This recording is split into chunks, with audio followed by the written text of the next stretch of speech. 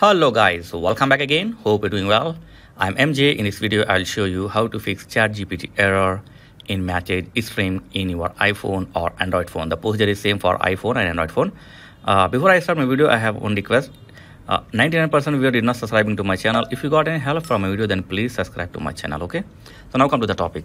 So when you face this sort of error, uh, message stream in your ChatGPT, then first thing is try to use the new chart. so just tap on the new chart and now give the prompt. This is the first and the basic method. If this not work go to your profile here tap on your profile three dot and go to the personalization. And here tap on manage memories. So it will record your all memories. So delete the memories okay? So delete the memories and refresh it. And after this uh, you can turn off the reference chart history because of this uh, the chat gpt will create some issue. So turn off this option for a while. After you fix this your issue then you can turn on this option okay? And back now. After this go to data control. And here delete all charts okay? If you have any important chart in your chat gpt then copy or backup the uh, data. And then delete all chart. This is one of the powerful method. If this not work then do one more thing.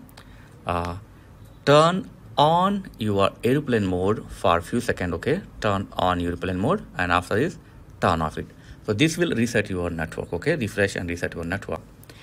If you're still facing problem then uh, disable the vpn whether you're using android phone or iphone there's the same procedure. Just find the vpn and if you're using any vpn service then disable it. Don't use vpn service if you face the this problem and if you're still facing problem uh, then update the chat gpt app. So go to your app store or google play store find the gpt chat gpt and if any update available then update it. Okay?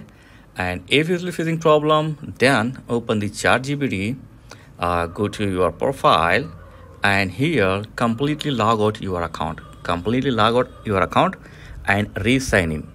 If you're still facing problem after the re-signing then it's better to use the different account okay so use the different account. If the problem fixed then you can re sign in with your original account okay? So try to use a different id or different account.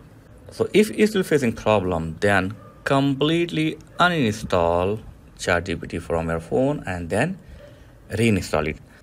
So i have tried to show five or six methods to fix this problem. So let me know in comments which option or which method fix your issue. Thanks for watching guys. See you next time. Please like share and subscribe. Thank you